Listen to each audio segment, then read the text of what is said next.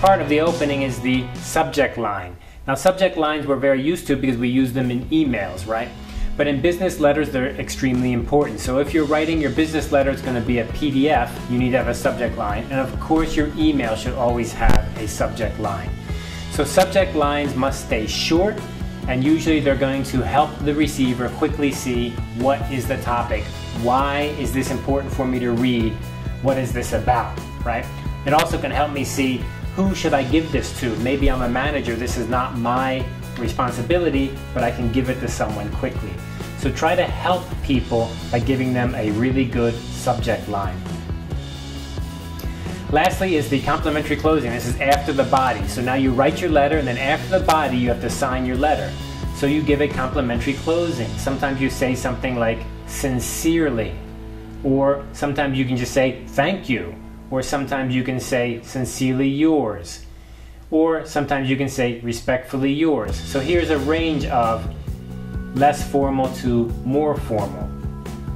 And I know often people skip these also in their email. It's not a good idea to skip it. You should definitely include it.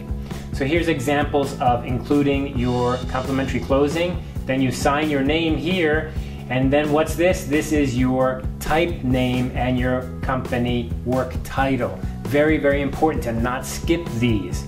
Lots of people think that email is informal, so I don't need to include that. But you should definitely include that. And in fact, in your email program, there's a feature to include a closing at the bottom to say who you are and what your position is. I'm sure you've seen them. Sometimes companies also add more information to say something like this information is private, belongs to the company, you cannot uh, give it to other people, something like this. So that's inside the closing. So don't skip the closing, and it's especially important to let me know who you are, your whole name, and your position. Now, later, you may become more informal once we begin to communicate more, and you may just sign your first name or you may just say thanks. Uh, but you should definitely include all the information the first time, especially. I would do it all the time when you're doing business. I mean, business is not a personal relationship, it's a business relationship. Here you can see from your book, you can look at the different parts of a letter, and this is a example of a letter. And here we have this thing called mixed punctuation. Now, mixed punctuation, the basic idea is the salutation, which says, Dear Mr. Smith, will have a colon. Remember the, oops, remember the colon like this? There we go, colon, right? And then down here, you'll say sincerely or thank you with a comma up here. Let me clear this off.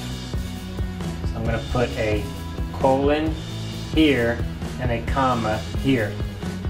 So that's called mixed punctuation, and that's the way you do that. A block letter is a letter that has all of the lines on the left side, just like this. Very, very easy to read. I think that's the most common letter style we use. A mixed block letter may actually have some of the lines indented but especially here, you see the date over in the center there, and then the complimentary closing down here is over beginning at the center. So it's a big indentation. That's called a modified block letter. And then here we have a semi-block letter, which means look at the date and look at the complimentary closing. Both of them are off from the center. And then each paragraph the first line it begins indented. Now what is this all about, these different styles? There are different levels of formality. You can see that this style here, this semi-block letters, is very troublesome because you have to move to the middle, you have to move every line, the indentation. This is the most formal. Whereas the block letter, which is everything's just on the left side, date line, everything is just very simple on the left side. That kind of letter is less formal. But you know, these days I think block letter is just fine.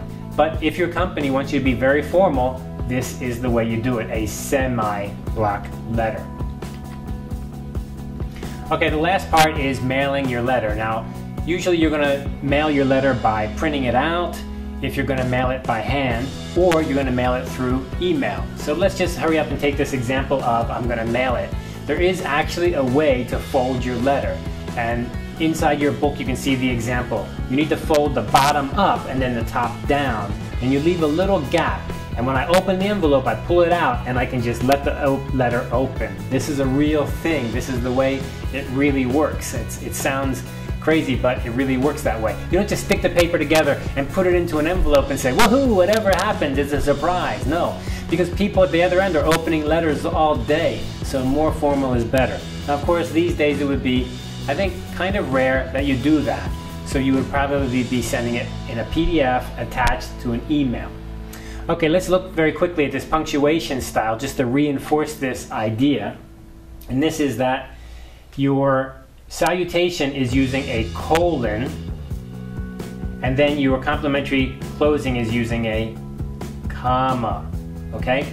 Now, if you do it the UK way, then you would use a comma here and a comma at the bottom also. Or you can have open punctuation, in which case you have nothing here and nothing at the closing. So complimentary closing and salutation, they have a specific way to use their punctuation. It's not just any way you want. Now, when you do finish up your letter and you're going to mail it, you can go ahead and print it as a PDF. And then that PDF you can go ahead and attach to an email.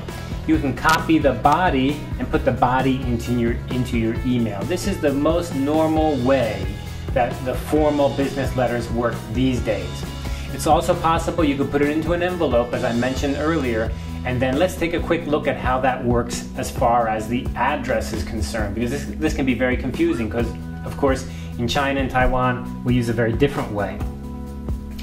The Western way to do this is this bit here of the envelope, this is who the letter is from. And then this bit down here, this is who it's So this part here goes a little bit down from the top, from the center, and a little bit beginning from the center over to the right. Whereas the return address, who it's from, stays up in the left corner, just like that.